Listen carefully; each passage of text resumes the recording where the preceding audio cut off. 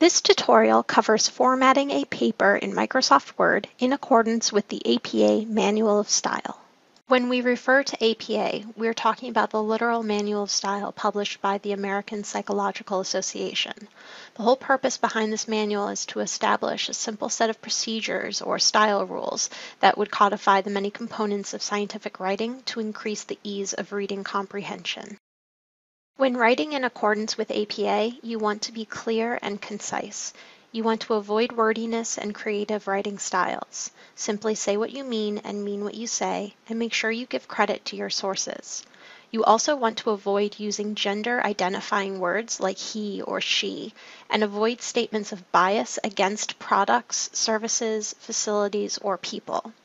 Also, pay attention to formatting and organization because it is formatting and organization that allow your colleagues to read your papers more easily. Standard formatting helps your colleagues by creating consistency in paper appearance so they know where to look for certain components of your paper.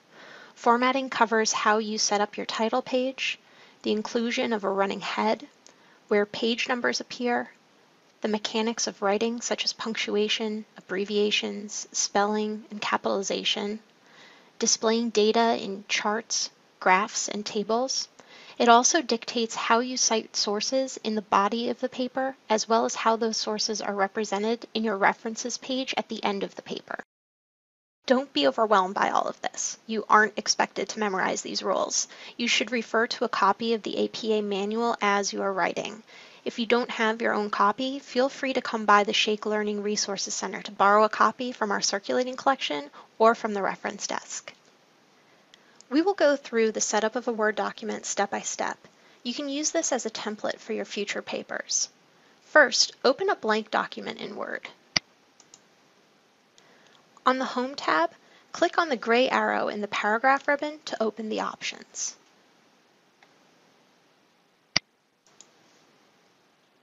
Change the spacing for before and after to zero. Change the line spacing to double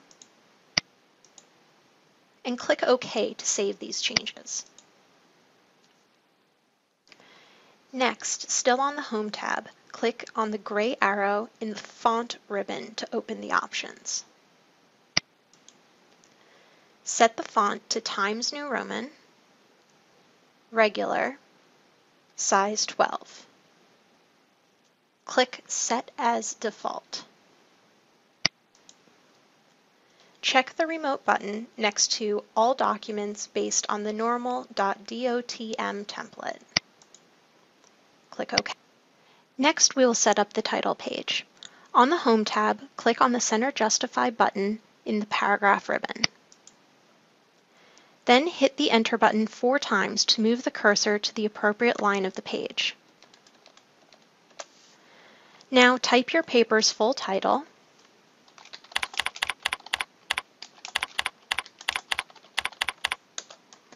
your name, and Vincennes University.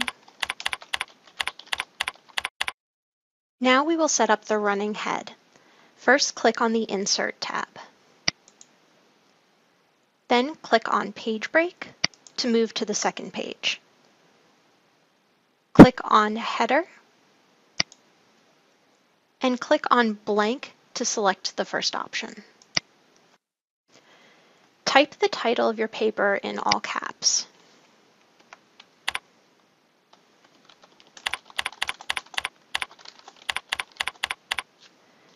The title should not be longer than 12 words or 50 characters. Hit the Tab button once or twice depending on the length of your title to move the cursor to the right side of the page. Now check the box next to Different First Page up in the ribbon. Next, we will insert page numbers. Click on the Page Numbers button,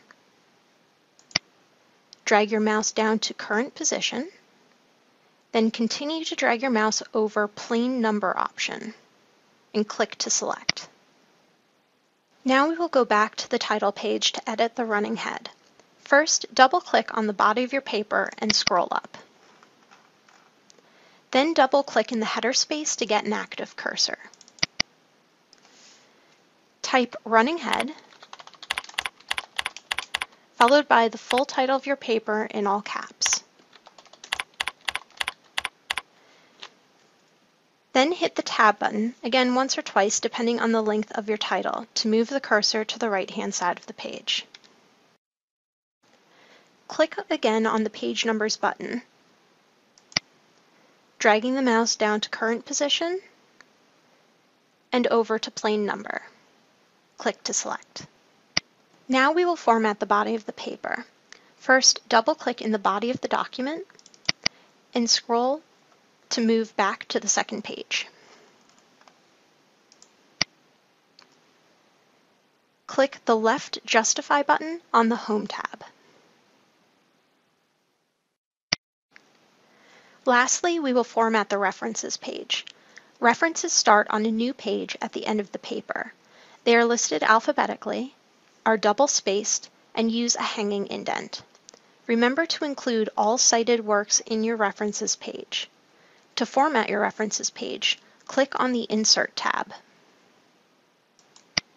Then on Page Break to move the cursor to a new page.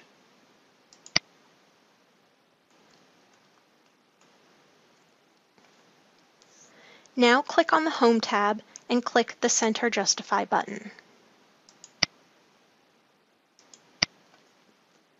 Type References at the top of the page. Hit the Enter key once to move to the next line. Next, click on the arrow in the lower right-hand corner of the paragraph ribbon. Select Left from the Alignment drop-down menu.